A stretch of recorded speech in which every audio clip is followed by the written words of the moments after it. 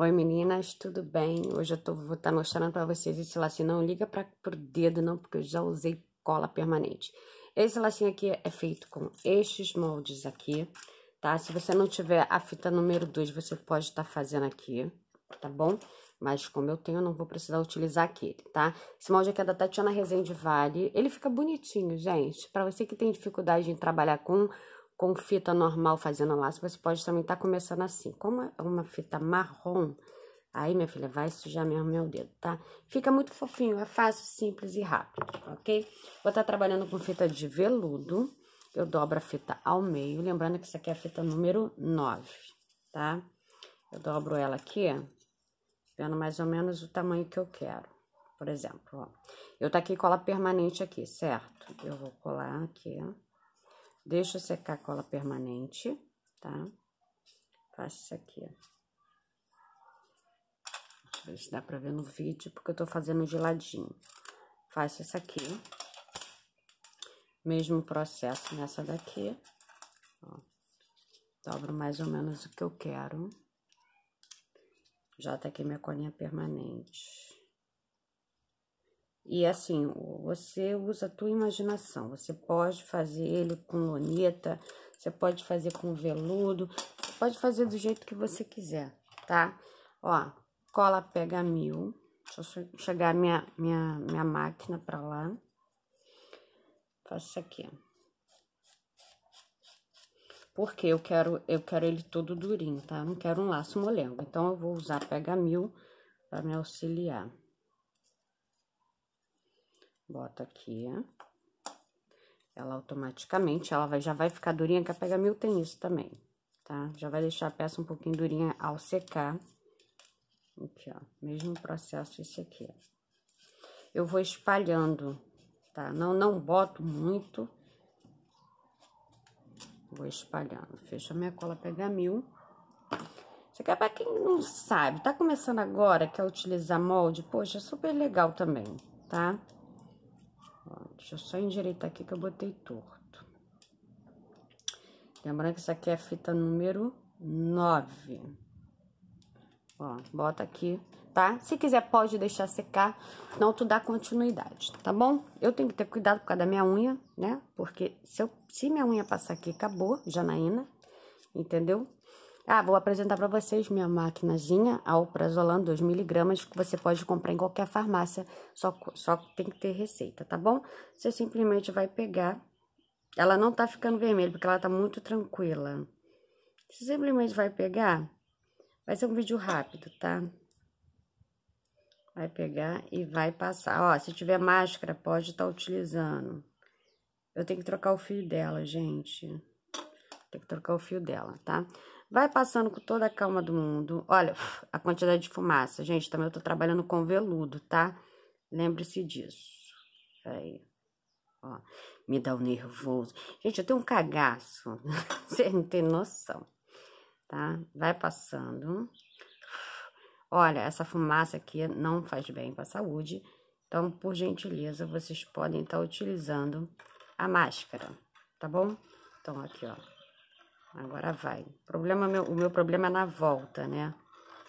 Na volta que é fogo. Então, vai tirando tudo. Olha a fumaça, olha a. Daqui a pouco a polícia baixa aqui em casa. Deixa eu terminar aqui e já volto. Aqui, ó. Já queimei, lógico. Agora, ó. Desligo ela. Vou chegar lá pra lá. Jogo esses, esses trepos fora. Aqui mesmo, se tiver alguma rebarbinha, já vem já conserto, taco fogo. Isso aqui para trabalhar em grande escala é legal, tá? Você bota teu marido, teu filho para cortar, mas tem que ter cuidado, tá, gente? Com essas máquinas. Pra, na, pra fazer com a luneta, é somente você rabiscar, tá bom? Aí eu, eu meto o dedo na, como é que fala? Na permanente.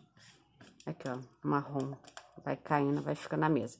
Eu meto o dedo na permanente, filha, com, com dedo e tudo. Normalmente a gente usa alguma coisa, um plástico pra, pra fazer isso. Mas não, eu meto o dedo mesmo, depois eu vou lá e lavo a mão. Tá? Se eu quiser dar um jeitinho aqui, ó, posso fazer isso aqui também. Lembrando que tem que estar tá seco, lógico, porque pega mil, pega fogo também, tá? a trabalhar em grande escala, ótimo. Lonita é só desenhar. Tá, eu vou pegar aqui, óleo, o que que eu quero da minha vida, o que que eu quero é colar.